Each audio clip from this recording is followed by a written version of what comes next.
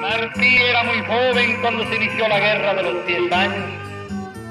Padeció cárcel, padeció exilio. Su salud era muy débil, pero su inteligencia extraordinariamente poderosa.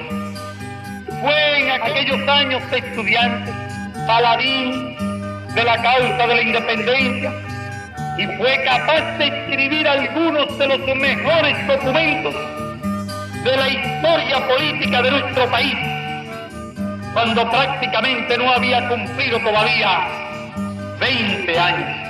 El pensamiento de Martí tiene una vigencia de dimensiones universales.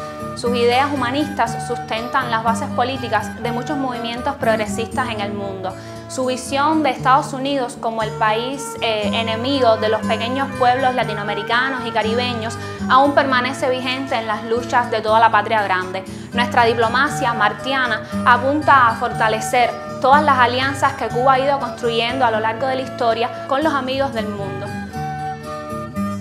Son tan vigentes sus teorías del amor a la patria que inspira a las nuevas generaciones a impulsar un país sobre la base de la comunidad de intereses y la unidad. El hombre se debe a la patria, la ama y le sirve con decoro.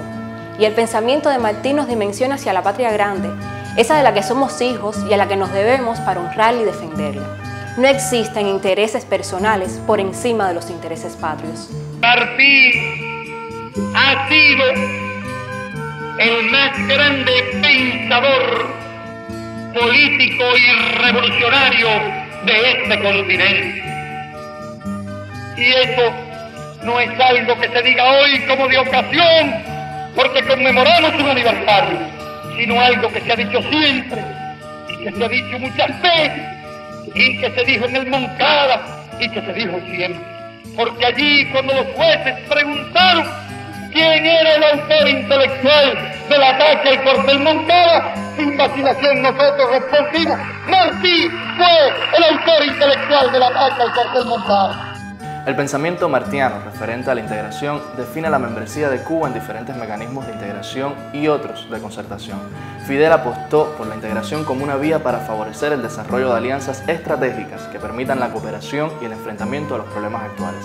Líderes latinoamericanos actuales coinciden con el fundamento martiano de comprender el proceso de integración de los pueblos latinoamericanos y caribeños como única alternativa posible para la preservación, consolidación y desarrollo de la existencia identitaria y cultural como naciones soberanas e independientes. Asumiendo el principio martiano de que la palabra no es para ocultar la verdad, sino para decirla, se nos impone una labor proactiva en el ejercicio de la comunicación política que presente y divulgue una imagen Cuba favorable en un escenario en el cual la guerra que se libra contra Cuba transcurre esencialmente en el ámbito político-comunicacional. Y aquí, ante la estatua de José Martí, decimos y juramos que siempre seremos leales e invencibles seguidores de Martí. Patria o muerte, José Martí.